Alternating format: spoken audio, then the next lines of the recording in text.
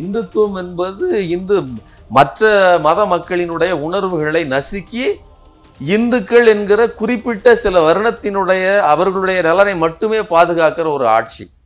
அப்படிப்பட்ட ஆட்சியை ஜெயலலிதா நடத்தினாரா?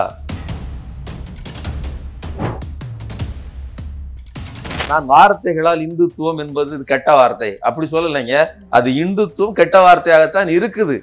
அதனுடைய செயல்பாட்டில் இருந்தால் அது விளக்கப்படுகிறது.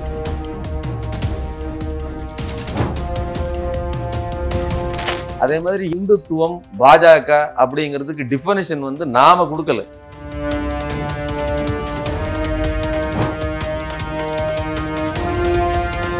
இந்த ஊருக்கு பாஜக தேவையற்றதுன்னு நினைக்கிறாரு. இந்துத்துவ கோட்பாடே தேவையற்றதுன்னு நினைக்கிறாரு.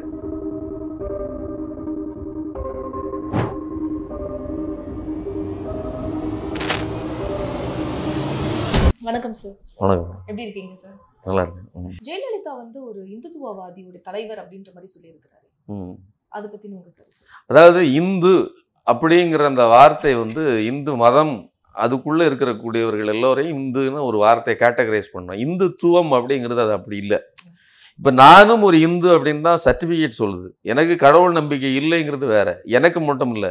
லட்சோப லட்ச கடவுள் மறுப்பாளர்கள் கோயிலுக்கே போனாலும் மனைவி அங்கே உட்கா கும்பிட விட்டுட்டு இங்கோடி தூணில் உள்ள சிலைகளை ரசித்து கொண்டிருக்கக்கூடிய சாதாரண ஆக்னாஸ்டிக் கடவுள் இல்லை என்ற இதுவும் இல்லை இதுவும் இல்லை. அப்படி இருக்கக்கூடிய சாதாரண இடைப்பட்ட மனோநிலை கொண்டவர்கள் எத்தனை பேர் இருக்காங்க. அப்போ எல்லாரையும் சர்டிஃபிகேட்டாக நீங்கள் என்ன சொல்கிறீங்க நீங்கள் இந்துன்னு தான் சொல்கிறீங்க அப்போது இந்து என்பது வேறு இந்துத்துவம் என்பது வேறு. இந்துத்துவம் என்பது இந்து மற்ற மத மக்களினுடைய உணர்வுகளை நசுக்கி இந்துக்கள் என்கிற குறிப்பிட்ட சில வருணத்தினுடைய அவர்களுடைய நலனை மட்டுமே பாதுகாக்கிற ஒரு ஆட்சி.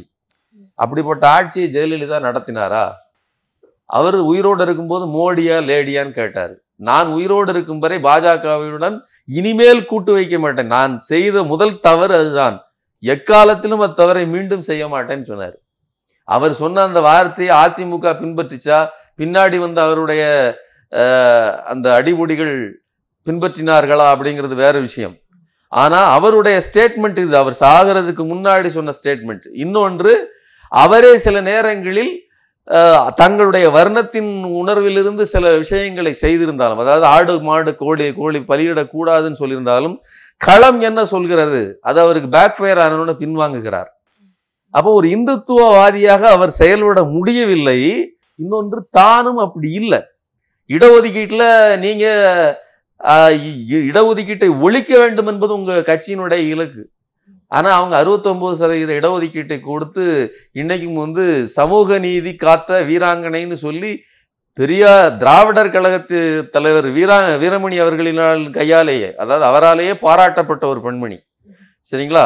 இப்போ நீங்கள் எந்த மதத்தை அல்லது எந்த கோட்பாட்டை பின்பற்றுகிறீர்கள்ங்கிறதை தாண்டி நடைமுறையில் நீங்கள் என்னவாக செயல்படுத்துகிறீர்கள்? அப்போ இந்த நாட்டுக்கு இந்த மக்களுக்கு என்ன தேவை? இடஒதுக்கீடு தேவை அதை கொடுத்தது ஜெயலலிதா. உங்களுடைய உணர்வில் உங்கள் கட்சியின் உணர்வில் அது உண்டா? நீங்கள் கோட்டா ஜாதின்னு சொன்னீங்களே ஜெயலலிதா அப்படி சொல்லுமா? சொல்ல முடியுமா? அப்போ ஜெயலலிதாவுக்கு கள நிலவரம் தெரியும். அவர் களத்துக்கான நபராக இருந்தார். நீங்க மேல நின்று குலைக்கிற உங்களுடைய கருத்துக்களை துப்புகிற நபராக இருக்கிறீர்கள். இன்னொரு முக்கியமான விஷயத்தையும் சொல்றேன். கரண்ட் தாப்பற்ற பல பேர் இன்டர்வியூ கொடுத்துருக்காங்க. அதில் மிக முக்கியமான ஒரு இன்டர்வியூ வந்து ஜெயலலிதா கொடுத்த இன்டர்வியூ அந்த இன்டர்வியூவில் கரண்ட் தாப்பற்ற ஒரு கேள்வி கேட்கப்படும். ஜெயலலிதாவுக்கு ஆங்கிலம் மிக லாபகமாக வரும் என்பது மிக வசதியானது. அதாவது தண்ணீர் குடிக்க வேண்டிய தேவையில்லாமல் போனது. அவர் சில எல்லா கேள்விகளுக்கும் ஓரளவுக்கு லாபகமாக பதில் சொன்னார். கடைசியில் அந்த மைக்கையே கழட்டி வீசிட்டு போவார். அப்படி சொல்கிறதுல கரண் தாப்பர் கேட்கிற ஒரு கேள்வி திமுக திராவிடர் கழகம் இந்த இந்த இந்த அமைப்பு என்பது ஒரு நாத்திக அமைப்பு. நீங்கள் ஒரு ஆத்திக பெண்மணி. நீங்கள் எப்படி எப்படி இதை தலைமையை வகுக்கலாம் அப்படிங்கிறது அவருடைய கேள்வி. அதுக்கு அவர் சொன்ன பதில் ஸ்பான்டேனியஸாக சொன்னார். அது ரொம்ப அருமையான பதில். ஒன்றே குரு குலம் ஒருவனே தேவன்னு அண்ணா சொன்னார். இதுதான் எங்களுடைய பதில் அப்படின்னு அந்த அம்மா சொன்னாங்க. ரொம்ப முக்கியமானது. நீங்கள் அந்த ஸ்பான்டனிட்டி அது வந்து உண்மையில் ரசிக்கத்தக்கது. ஆனால் உண்மையிலேயே அந்த ஜெயலலிதாவிடம் கேட்க வேண்டிய கேள்வி கரண்ட் டாப்பை தவறவிட்ட கேள்வி என்ன அப்படின்னா இது திராவிட முன்னேற்ற கழகம் அண்ணா திராவிட முன்னேற்ற கழகம்னு திராவிடர்களின் முன்னேற்றத்தை மையமாக வைத்த ஒரு கட்சி அதில் எப்படி ஒரு ஆரிய பெண்மணி ஒரு பார்ப்பன பெண்மணி வரலாம்னு கேட்டிருக்கலாம். அவர் அப்படி சொல்லலை. அவர் மாற்றி கேட்டதுனால இந்த அம்மா கரெக்டாக பதில் சொல்லிட்டாங்க. சரிங்களா? இந்த கேள்வியை கேட்டிருந்தால் ஜெயலலிதாவிடம் பதில் சிரமப்பட்டிருக்கலாம். சரிங்களா? ஆனால் அந்த பதில் ரொம்ப முக்கியமானது. ஒன்றே குலம் ஒருவனே தேவன். அண்ணா வந்து ஒரு கட்டத்தில் பார்க்கிறார். நாங்கள் வந்து நாத்திகம் பேசிக்கொண்டு மக்களிடமிருந்து விலகி நிற்பதற்கு நாங்கள் தயார் இல்லை ஒன்றாக கூடி எங்களுக்கு ஒ- எல்லோருடைய உணர்வு நிலைகளையும் ஒன்றுபடுத்துகிற ஒரு தெய்வத்தை ஒரு பரநிலையை ஒரு கடவுள் தன்மையை நாங்கள் ஏற்றுக்கொள்கிறோம் அப்படிங்கிறார் அவர். சரிங்களா? அது முற்போக்காக இருந்தால் எங்களுக்கு வசதியானது. எனக்கு பிரம்ம சமாஜம்னு சொல்லிட்டு ராஜா ராஜாராம் மோகன் ராய் கொண்டார். அது ரொம்ப முற்போக்கான சமயமாக பின்பற்றுதலாக இருந்தது. ஆனால் பார்ப்பனர்கள் யாரும் அதை வளர விடவில்லை. ஏன்னா சதி கோட்பாட்டை அது எ- எதிர்த்துச்சு. பல வைதீக கோட்பாடுகளை எதிர்த்து எதிர்த்துச்சு. சரிங்களா? நான் மத நடவடிக்கை கூட முற்போக்காக இருக்க வேண்டும் அப்படிங்கிற அடிப்படையில் தான் ஒன்றே குலம் ஒருவனே தேவன்னு சொன்னாரு. அதை இந்த பாஜக ஏத்துக்கொள்ளுமா? நீங்க சொல்ற கருத்துக்கும் அவர் சொல்றதுக்கும் ரொம்ப முரணா இருக்கு. அவர் என்ன சொல்றேன்னா இந்துத்துவம்ன்றது ஒண்ணும் கெட்ட வார்த்தை கிடையாது. நீங்களா தான் அதை கெட்ட வார்த்தையை மாத்திட்டீங்க. அது வந்து எல்லா குலத்தையும் எல்லா மதத்தையும் வந்து சமமா பாக்குறது எந்த வார்த்தையுமே கெட்ட வார்த்தை கிடையாது. அது எந்த பொருளை குறிக்கிறது அப்படிங்கிறது தான். பூ என்கிற ஒரு வார்த்தை இருக்குது. அது மனத்தை அது வந்து ஏன் பூன்னு சொன்னவொடனே மணக்கிறது அப்படின்னா நமக்கு அந்த மனத்தை ஞாபகப்படுத்துகிறதுனா அந்த பூங்கிற வார்த்தை எந்த பொருளை குறிக்கிறதுங்கிறது. சரிங்களா? அப்புறம் நான் சொல்ல சொல்ல வேண்டியதில்லை. சில வார்த்தைகளை சொன்னால் நாற்றம் நம் மூக்கை துளைக்கும். அதுக்கு காரணம் அந்த பொருளின் தன்மை. அதே மாதிரி இந்துத்துவம் பாஜக அப்படிங்கிறதுக்கு டிஃபனிஷன் வந்து நாம கொடுக்கல. பாஜகங்கிற கட்சி ஆரம்பித்த உடனே அதனுடைய டெஃபினிஷன் உருவாகலை. ஆனால் அது வெளிப்படுத்துகிற மனம் இருக்கு இல்லையா? துர்நாற்றமா? அது நாற்றமா? நாற்றம்ங்கிறது பொது வார்த்தை. சரிங்களா? துர்நாற்றமா நல்ல நாற்றமா அப்படிங்கிற அடிப்படையில் தான் அது தன்னுடைய இருப்பை நிலைநிறுத்தி கொள்கிறது. நாங்கள் என்ன சொல்கிறோம் நீங்கள் ஒரு பொல்யூஷனை ஏற்படுத்தி விட்டீர்கள். இத்தனை ஆண்டு காலம் இந்த கட்சி ஆரம்பிக்கப்பட்டதிலிருந்து எத்தனை கலவரங்கள் எத்தனை நெருக்கடிகள் சமூக ஒரு பதற்ற நிலை எத்- இன்னைக்கும் மணிப்பூரில் நடந்த கலவரங்களுக்கு பின்னால் யார் இருக்கிறார்? அதை நட நடக்க விட்டு வேடிக்கை பார்த்தது யார்? அத்தனை பொது சொத்துக்கள் சேதமாக இருக்குது உயிர்கள் நாசமாக இருக்குது பலியாக இருக்குது அப்போ பாஜகவோ இந்துத்துவமோ அது என்ன விளைவை தந்திருக்கிறதுங்கிறது தான் அதை நம்ம அளக்கிறோமே தவிர நான் சொல்லி நான் வார்த்தைகளால் இந்துத்துவம் என்பது கெட்ட வார்த்தை. அப்படி சொல்லலைங்க. அது இந்துத்துவம் கெட்ட வார்த்தையாகத்தான் இருக்குது. அதனுடைய செயல்பாட்டில் இருந்தால் அது விளக்கப்படுகிறது. டிடிவி தினகரன் ஆதரவு தெரிவிச்சிருக்காரு அது எல்லாரும் சொல்ல வேண்டியதான் நீங்க வந்து நான் சொல்றேன் இல்லையா இது மணக்கும் அப்படின்னு சொல்லி ஒரு பொருளை காட்டுகிறார்கள். அந்த பொருள் அப்படிப்பட்ட ம மனத்தை தரவில்லை. விளம்பரம் போடுவதால் ஒரு அசிங்கத்தை அழகுபடுத்தி விட முடியாது அதே மாதிரி- அது அதை ஒத்துக்கிடட்டுமே. நான் என்ன சொல்றேன்னா பிழைப்புக்காக நாயும் பிழைக்கும் இந்த பிழைப்பு சர்வைவல் இந்த பிழைப்புக்காக அவர்களிடம் இருக்கக்கூடிய சொத்துக்களை பாதுகாத்துக் கொள்வதற்காக எந்த கா ஈன காரியத்தையும் செய்வதற்கு அவர்கள் தயாராகி விட்டார்கள் ஏன்னா அக ப பரப்பன அக்ரகாரா சிறையில் அவர்கள் பட்ட அவஸ்தை இருக்கு இல்லையா? அவர் குடும்பத்தார் பட்ட அவஸ்தை சசிகலா பட்ட அவஸ்தை. இதெல்லாம் அவர்கள் கண் முன்னால் வந்து போமா இல்லையா? அப்படிங்கிற மாதிரி தான் அதனால் அவர்கள் பேசுவதில் அது வந்து அவருடைய சுய உணர்வில் அது சுய நினைவிலிருந்து பேசுவதாக தெரியல. சுய நலத்திலிருந்து பேசுகிறார் அதனால் அதனால அது அது வச்சுக்கிட்டு நாம வந்து பாஜகவை வந்து அளவிட முடியாது. மீண்டும் மீண்டும் சொல்றோம் பாஜகவோ அல்லது இந்துத்துவமோ அது தருகிற விளைவிலிருந்து தான் அதனுடைய வரையறைகள் நிர்ணயிக்கப்படுகிறது.